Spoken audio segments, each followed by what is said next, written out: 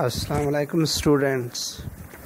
उम्मीद है कि आप सब खैरियत से होंगे। आज जो हम टॉपिक पढ़ने जा रहे हैं, वो एडवर्ब और उसकी टाइप्स हैं। सबसे पहले हम एडवर्ब की डेफिनेशन देखते हैं। फ़िक्रे के अंदर वो लफ्ज़ जो किसी वर्ब एडजेक्टिव या किसी और एडवर्ब के मानी में इजाफा करे, उसे एडवर्ब कहते हैं। अच्छा अब हम इसकी टाइप्स देखते हैं। नंबर एक पे है हमारे पास adverb of time adverb of time ये एडवर्ब की वो किस्म है जो हमें ये बताती है कि काम किस वक्त, यानी काम कब हुआ है, किस वक्त हुआ है। मिसाल के तौर पर, ही केम लेट। अब ये जो लेट है, ये हमें वर्ब केम के, कम के, टाइम के मुतलक बता रहा है। इसी तरह से ही केम अर्ली अर्ली जो है, ये वर्ब के टाइम के मतलब यानी एक्शन के टाइम के मतलब हमें बता रहा है। इसी तरह से जिस तरह से टू डे है यस्टरडे है टमारो है अगो है बिफोर है नाउ है तो ये सब क्या है हमारे पास? एडवर्ब ऑफ़ टाइम है। इस तरह से बहुत से हो सकते हैं एडवर्ब ऑफ़ टाइम जिस तरह से सिंस है ऑलरेडी है। अच्छा फिर इसके बाद जो है, हम देखते हैं नंबर दो पर एडवर्ब ऑफ़ प्लेस तो एडवर्ब ऑफ़ प्लेस जो है, ये एडवर्ब की वो किस्म होती है जो हमें ये बताती है कि काम किस जगह वाक़ हुआ है। यानी एडवर्ब की वो किस्म जो काम की जगह को जहर करे, उसे हम एडवर्ब ऑफ़ प्लेस कहते हैं। मिसाल के तौर पर कम हेयर यहाँ आओ। अब हेयर जो है, ये एडवर्ब ऑफ़ प्लेस है। इसी तरह से गो देयर वहाँ जाओ। अब ये वहाँ जो है, ये एडवर्ब ऑफ़ प्लेस है। अच्छा इसी तरह से where everywhere somewhere nowhere तो ये क्या है? एडवर्ब ऑफ़ प्लेस की मिसालें हैं। मिसाल के तौर पर कम इन अब इन जो है, यहाँ प्रपोजिशन नहीं, बल्कि एडवर्ब ऑफ़ प्लेस है। अच्छा फिर इसके बाद जो है एडवर्ब की तीसरी किस्म जो है, वो हमारे पास है adverb of manner adverb of manner यानी एडवर्ब की वो किस्म जो काम के अंदाज को ज़ाहिर करे मैनर को ज़ाहिर करे।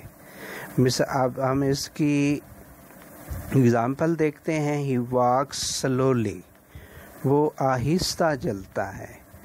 ही वॉक्स प्राउडली वो फ़खरिया अंदाज के साथ चलता है।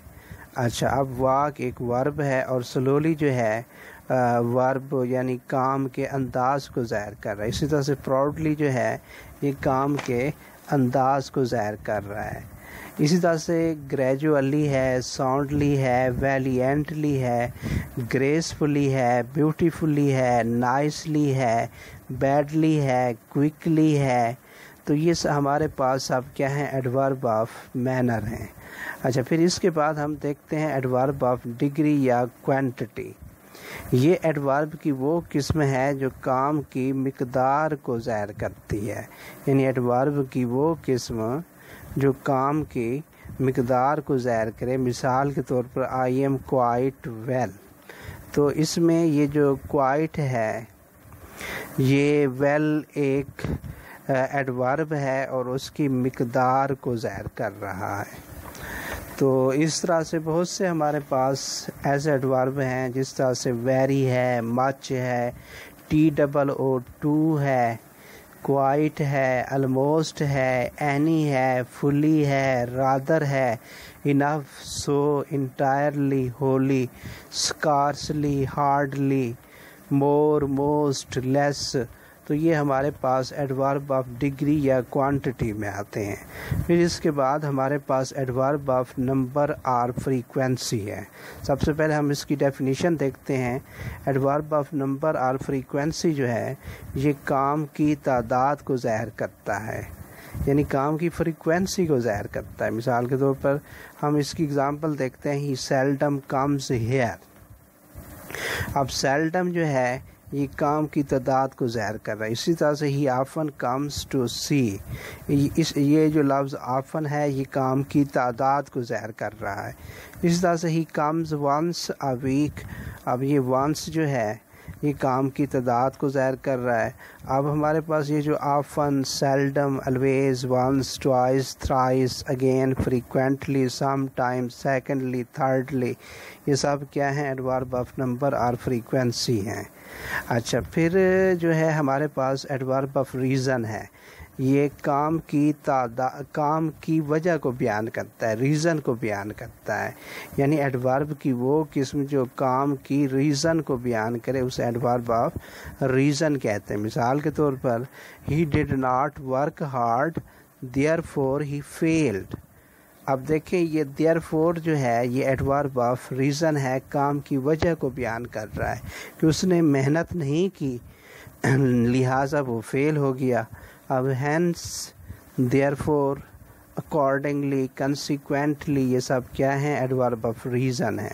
अच्छा फिर हमारे पास है adverb of affirmation and negation adverb of affirmation and negation ये एडवर्ब की वो किस्म है जो काम के मुस्बत या मनफी होने को जहर करे।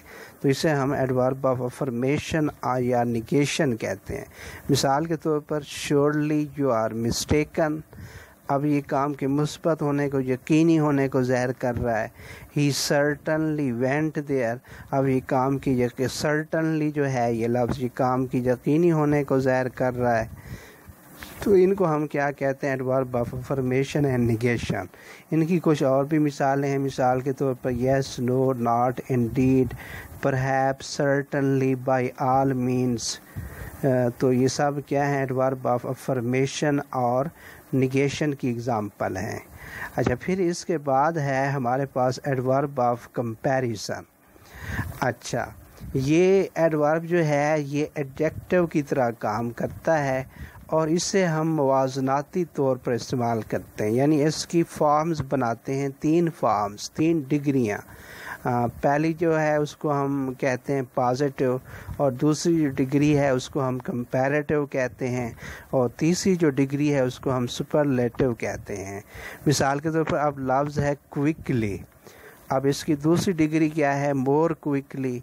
फिर इसकी तीसरी डिग्री मोस्ट क्विकली। इसी तरह से swiftly. More swiftly, most swiftly. इसी तरह से लेट, लेटर, लेटेस्ट। तो ये हमारे पास क्या है? एडवर्ब ऑफ़ कंपैरिजन है।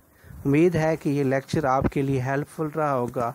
अगर आपको हमारे ये लेक्चर पसंद आए तो हमारे इस वीडियो को लाइक करें, शेयर करें, हमारे चैनल को सब्सक्राइब करें।